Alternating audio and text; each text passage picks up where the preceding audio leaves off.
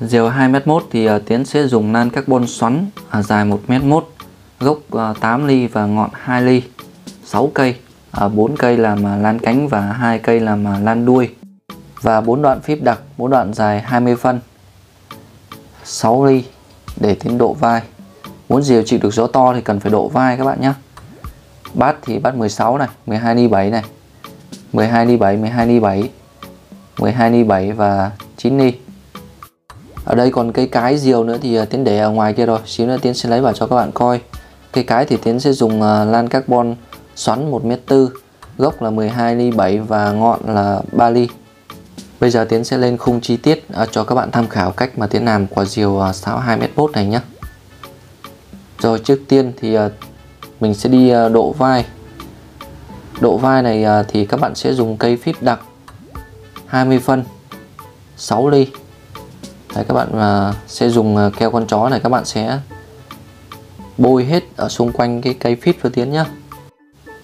Các bạn mua phíp về nếu mà cây phíp của bạn nó hơi to thì các bạn sẽ dùng à, uh, rũa các bạn mài bớt đi.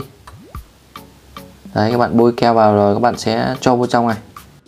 Các bạn có thể dùng keo AB hoặc là keo con chó này các bạn độ vai à, rất là ok. Rồi các bạn sẽ để khô. Bây giờ thì uh, tiến sẽ đi làm uh, lan cánh. Tiến sẽ đo cái bát này này. Bát này và bát uh, cánh này. Thì sẽ chia làm đôi. Mỗi bên ăn thì sẽ ăn một nửa bát.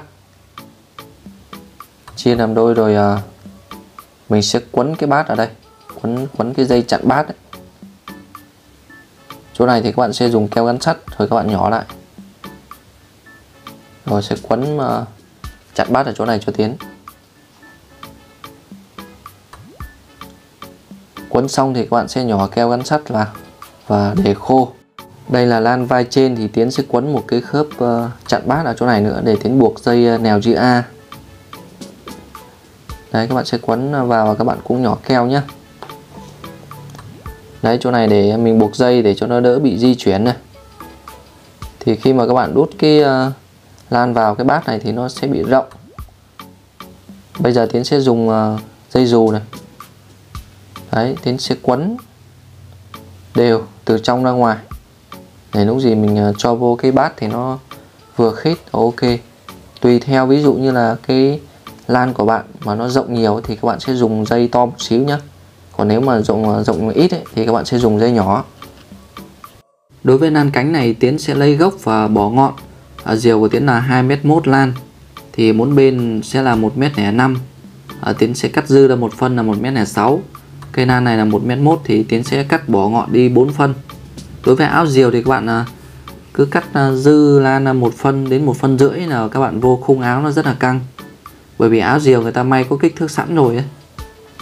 Đấy khi mà xỏ vô thì nó sẽ vừa khít như vậy này các bạn không có độ dơ là ok. Rồi cái chỗ này thì uh, Tiến sẽ dùng keo gắn sắt đấy Tiến nhỏ cứng vào. Rồi uh, lấy giấy nhám đánh bóng lại là xong. Uh, một cái bát.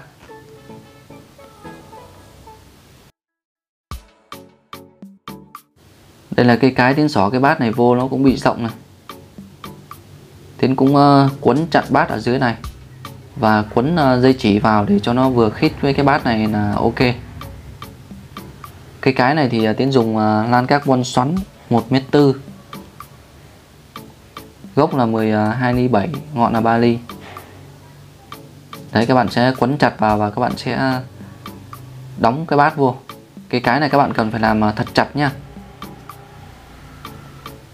khi mà tiến đóng ờ, chặt khít vô rồi thì ờ, tiến sẽ giỏ keo gắn sắt cho nó cứng ngắc lại luôn.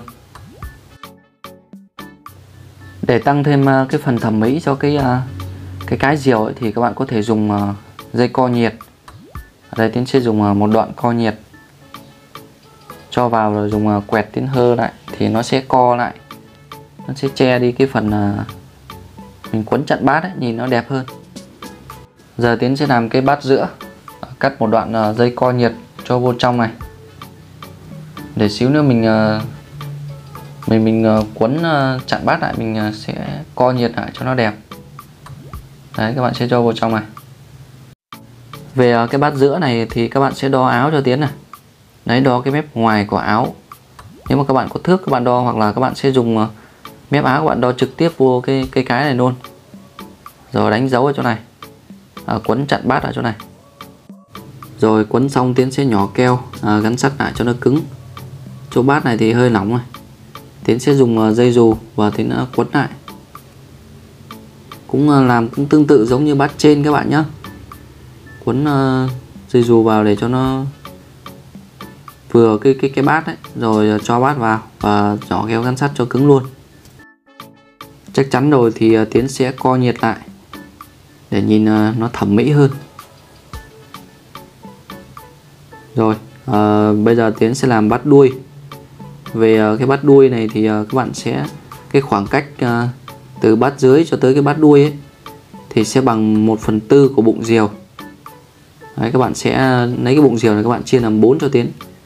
Thì uh, nó sẽ ra cái khoảng cách. Chỗ bát đuôi này tiến cũng uh, quấn chặn bát và quấn thêm dây dù cũng làm tương tự giống như hai bát trên à các bạn lưu ý cho tiến là khi mà các bạn làm ba cái bát này ấy là phải thật là thẳng hàng và song song với nhau. Để nó thẳng hàng và song song với nhau ấy, thì các bạn sẽ đặt xuống cái nền gạch men à, giống như tiến này. Bát thứ nhất này bát thứ hai và bát thứ ba thì nó nằm trên một cái mặt phẳng như vậy thì chắc chắn là nó sẽ đều và nó song song với nhau. Thì à, lúc gì các bạn nên khung diều nó sẽ cân đối. Quấn bát à, xong thì à, nhỏ keo cứng luôn vậy là xong ờ, cây cái. Còn về cái phần ờ, lan đuôi ở dưới thì nó sẽ khác với cái cây nan diều các bạn nhé. Lan đuôi này các bạn cần phải đo lan trực tiếp vào ờ, cái áo áo đuôi ở dưới. Nó không như nan diều ở trên. Nan diều ở trên thì các bạn cứ cắt mỗi bên lan cánh dư là một đến một phân rưỡi là nó căng áo. Còn phần này thì tiến sẽ đo trực tiếp vô cái áo đuôi này luôn. Đấy, đặt cái cái lên như vậy này. Tiến sẽ dùng cái lan đuôi này là đuôi này thì tiến sẽ uh, cắt uh, gốc và lấy ngọn. Cắt gốc và lấy ngọn các bạn nhé ở phần này thì nó có cái phần ống tiêu này. Các bạn cần phải cho vào cái ống tiêu này chứ không là nó sẽ bị uh, rách áo ấy. Cho nan vào rồi các bạn sẽ kéo uh, căng nan đuôi ra. Các bạn sẽ lấy cái tâm ở giữa cái khóa và ngắt nan. Rồi các bạn sẽ quấn bát giống như là quấn ở trên nan cánh nha và các bạn sẽ xỏ vô đây. Xỏ vô cái bát đuôi này. Đấy, nó vừa khít là ok. Rồi bây giờ tiến sẽ ráp hoàn chỉnh vào cho các bạn coi. Phần đuôi cá này nếu mà các bạn cắt nan đuôi dài quá thì nó sẽ bị trùng ở mép áo. Còn nếu mà các bạn cắt ngắn quá thì ờ, cái nan đuôi của mình nó cũng sẽ không được căng. Đây, các bạn sẽ kéo cái phần đuôi này xuống này. À, nó căng cái nan đuôi là ok. Rồi bây giờ tiến sẽ ráp hoàn chỉnh nha. Đấy vậy là Tiến đã hoàn thiện xong quả diều sáo à, đuôi cá rồi các bạn nhé. 2 mét mốt. Bữa trước uh, quả diều ờ, ba 3 mét rưỡi kiểu của Tiến Tiến làm xong ấy nhưng mà chưa thả chưa test được cho các bạn coi. Hôm nào uh, gió to với lại uh, Tiến đang đợi uh, order dây dây dây amiang về á các bạn. Thì dây đó thả quả diều to lắm mới được. Còn quả diều này thì Tiến sẽ thả cái loại dây dù trắng này này. Hôm nào có gió thì Tiến sẽ test quả này cho các bạn coi nhé. Quả này uh, tin chắc là dây này là thả là ok. Dây này bữa trước tiến ở nhà tiến cũng thả quả diều uh, 2 m uh, 1 m 8 m 9 ấy thì uh, nó nôi cũng căng quả này 2 m 1 thì tiến nghĩ là thả ok.